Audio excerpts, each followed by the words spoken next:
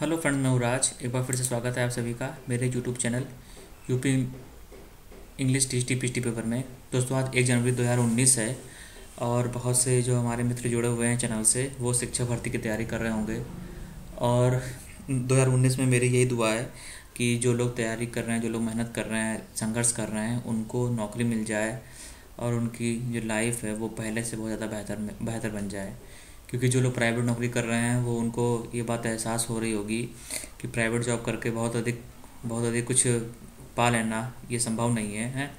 तो अगला आप सच में कुछ उल्लेखनीय काम करना चाहते हैं, घर मकान बनाना चाहते हैं, या या और भी जीवन में जो परवरिश करना चाहते हैं अपने बच्चों की, अपने परिवार की, वो सरकारी नौकरी के द्वारा ही संभव होता है कहीं ना कहीं।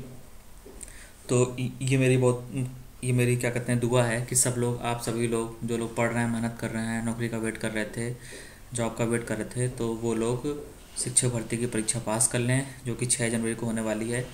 और छः जनवरी को ही कह सकते हैं कि आपके जीवन का बहुत ही महत्वपूर्ण दिन है, क्योंकि अगर सही सही रूप से, अपने दिमाग को शांत करके अगर आप लोग पेपर दे पाएँगे तो निश्चित रूप से सफलता आप लोग को मिलेगी, है। तो सबसे बड़ी बात यह है कि उस दौरान आप बिल्कुल घबराएँ नहीं, दिमाग को एकदम शांत रखिए। और जो भी गलतियाँ वगैरह हो जाती हैं, वो तभी होती हैं कि आदमी बहुत ही जल्दबाजी में होता है, वो घबरा जाता है। तो आप लोग को बहुत ही दिमाग शांत करके छः तारीख को जो आपका पेपर होने वाला है शिक्षा भर्ती का, वो आप लोग को देना है।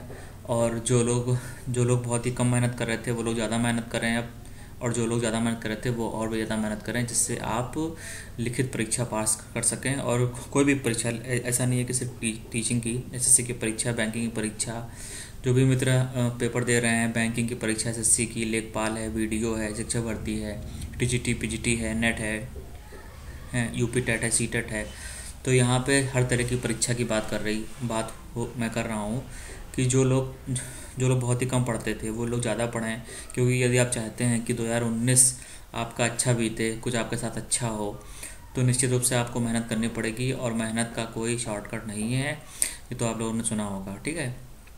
आप लोग को पढ़ना पड़ेगा, दिमाग खर्च करना ही पड़ेगा, क्योंकि कंपटीशन बहुत ज़्यादा है, सीटें कम होती हैं और जो कैंडिडेट्स बहुत ज़्यादा होते हैं, ठीक है? तो जो ये भर्ती हो रही है, शिक्षक भर्ती सिक्सटी नाइन थाउज़ेंड पद हैं जिसमें, इसमें साढ़े चार लाख के आसपास फार्म आए हैं।